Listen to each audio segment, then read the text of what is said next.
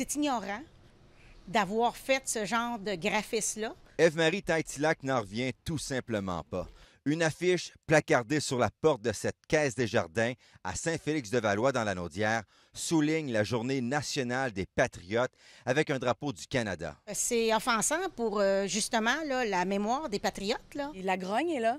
Et euh, c'est vraiment fâchant. Pour Marianne Alpin, c'est une grave erreur. La présidente de la Société Saint-Jean-Baptiste dit que le drapeau du Canada n'y a pas sa place. C'est un manque euh, de sensibilité par rapport à, aux patriotes et à la fête et à qui nous sommes comme peuple. Ailleurs au Canada, on célèbre la fête de la reine. Ici au Québec, depuis 2002, c'est la fête nationale des patriotes pour commémorer la lutte contre le pouvoir colonial britannique. Je suis présentement à Saint-Félix-de-Valois. Aujourd'hui, l'affiche en question a été retirée, mais elle s'est tout de même retrouvée dans plusieurs caisses des jardins dans la province.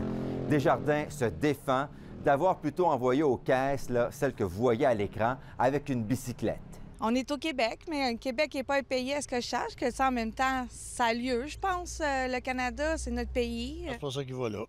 Il y a eu une erreur là-dedans, certain. Là. Je trouve ça assez ordinaire. On devrait euh, changer ça pour un autre drapeau que ça, mettons. Il faut une partie d'ignorance de notre histoire pour arriver avec une affiche comme celle-là. Pour le PQ, ça ne passe pas. Est-ce que c'est ce qu'on peut faire de mieux pour rendre hommage à nos ancêtres qui se sont battus pour la démocratie et la liberté en 1837-38.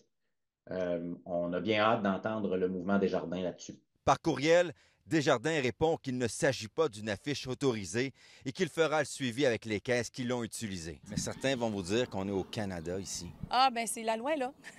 euh, on est au Québec pour la Journée nationale des patriotes. Il n'y a pas de confusion là-dessus. Le ministre de la Culture et des Communications, Mathieu Lacombe, a réagi sur Internet disant que cette affiche était inappropriée et demande des explications à Desjardins pour la Société Saint-Jean-Baptiste qui tient un événement lundi après-midi au Carré Saint-Louis pour la fête des Patriotes, il y a encore de l'éducation à faire.